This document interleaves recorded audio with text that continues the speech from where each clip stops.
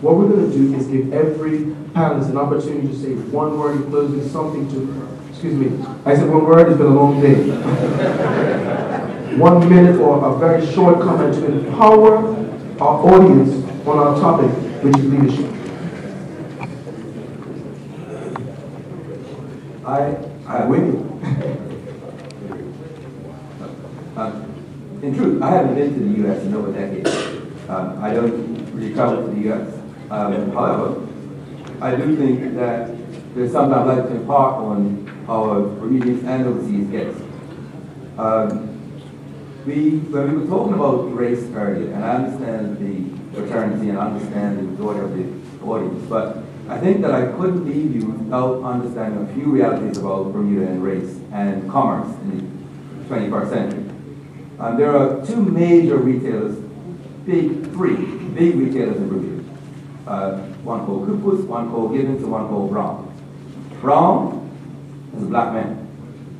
There are two overseas long-distance carriers in Bermuda, Cable Wireless, which recently sold to Canadian, and TBI. The CEO of TBI is a black man. Digicel, I understand their CEO is a black man. the two large accounting firms, you may have heard of KPMG and Price Waterhouse, both of them have black partners. Appleby, which is Bermuda's perhaps leading, I think CNP may edge them a bit, um, the managing partner for the Bermuda office is also a black man. Um, ACE, direct competitor in terms of size with XL, its president is a black Bermudian man.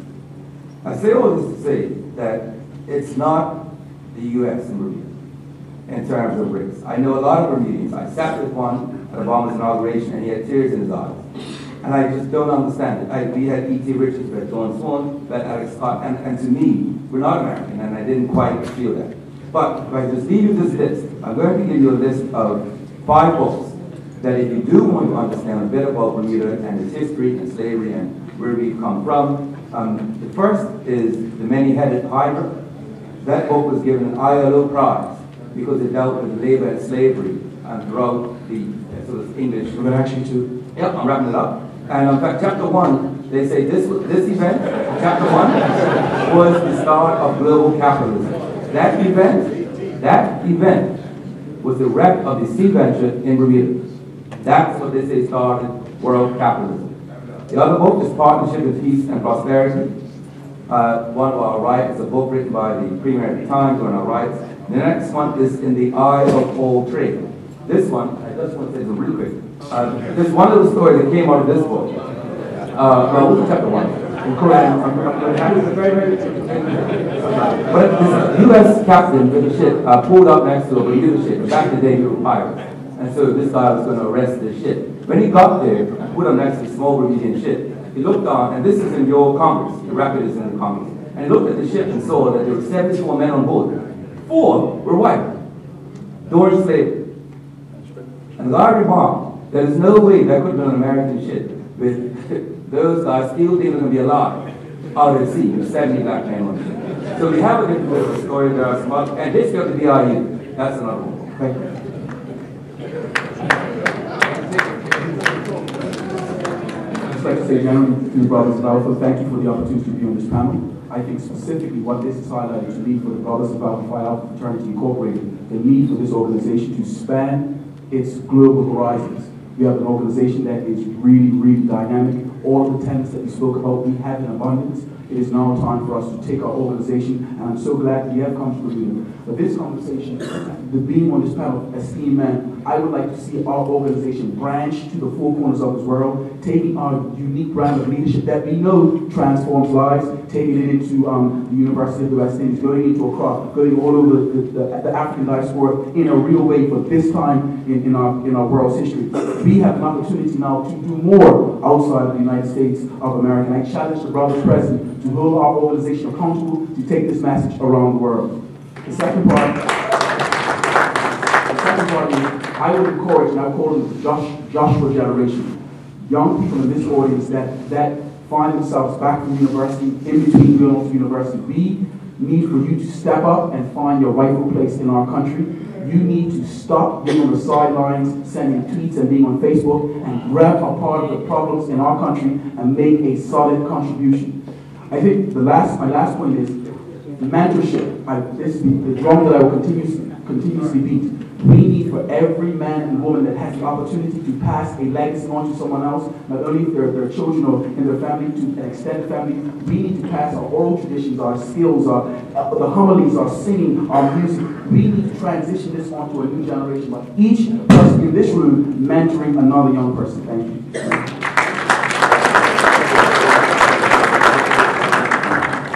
Closing, I'd like to also congratulate Absalom Lambda, uh, Paragon, and the community, and Alpha Phi Alpha uh, to continue to uh, show the light and shine the light.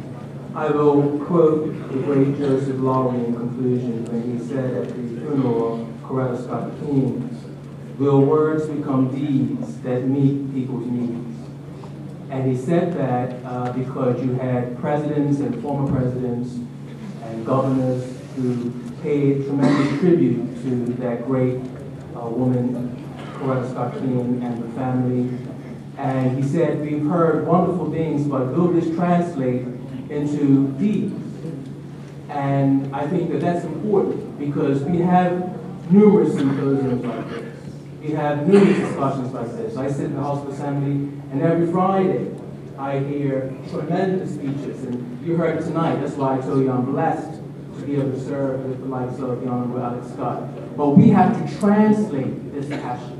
We have to translate this intellectual capacity and actually go out there and meet our community at its need.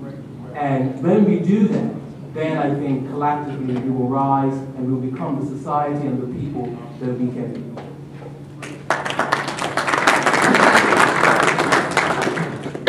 It is a wonderful experience not to be six feet under, but having folks refer to you as if you have passed away. I think as a senior member of the current government panel, I wish to welcome, thank you for coming, the Alpha members, and ensure you that you are in a very exceptional place. We are 600 miles off of the Carolinas. Geographically, we're supposed to be the most, one of the most isolated points of geography anywhere in the world. And I haven't sorted it out yet. Whether the Lord has put us out here to protect us from you, or whether He has put us out here to protect you from us. Whatever the answer, enjoy yourself. We certainly enjoy having you here. And there's one thing left. You must come back again and again and again.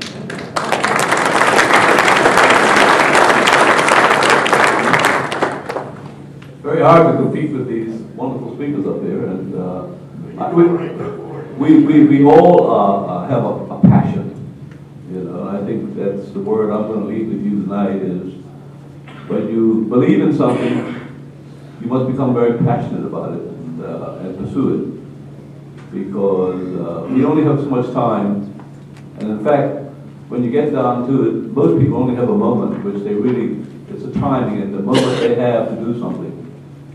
And I think for us in Bermuda, and I think for the United States, uh, and this Western, our Western civilization, the moment has come that we must find what is it that we can apply our passion to and with. And there's no greater passion and commitment that we can make than to our fellow human beings. And if I had to sort of say what I'd like to do is to have the passion and the commitment to try to encourage the collaborative effort, whether you're black, white, rich, poor, whether you're foreign or local, uh, that we come together because we know the fact that when in a little island like this, when one fails, we all will fail. And therefore, we should try and make sure that we all pull each other up because we are truly our brother's keepers.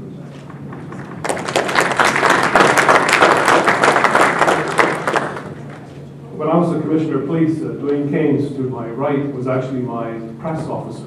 And I learned a very quick lesson, I only had to learn it once. When he says 60 seconds, that's all you've got. First of all, I would really like to extend my thanks for the invitation. I feel honored to be here tonight, and I will treasure this particular opportunity to have engaged in this uh, panel discussion. My message is really directed towards the younger members that are here tonight. I'm sorry if I have a sort of bias towards that, but most of us have all found our way through looking at the examples of others. So the only thing I would like to say to the younger members that are here tonight, that as you seek to find your way in a very complex and difficult environment, uh, be very careful who you seek out, you know, for the leadership traits that you admire and the ones that you want to emulate. And don't be afraid that there will be occasions that you will have to stand alone on your particular convictions. Thank you all for coming.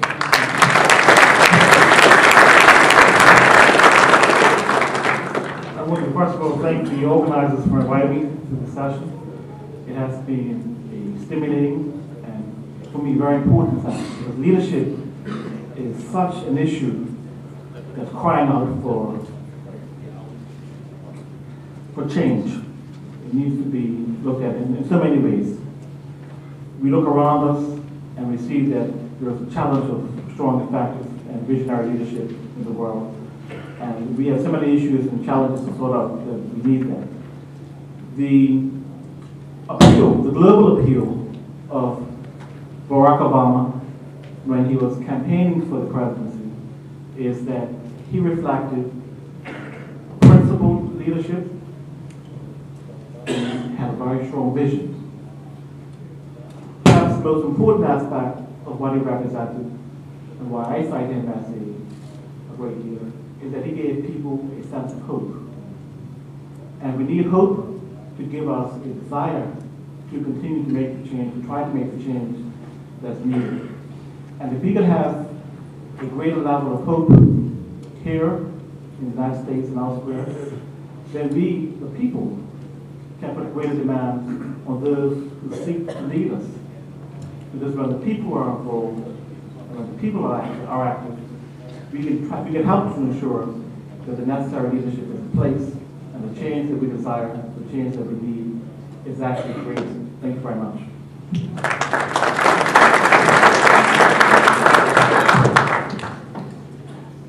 Man deeds, scholarship, and for mankind. These are the aims of our fraternity. My mother always said that I was an idealist, and I still am an idealist. I try to be realistic.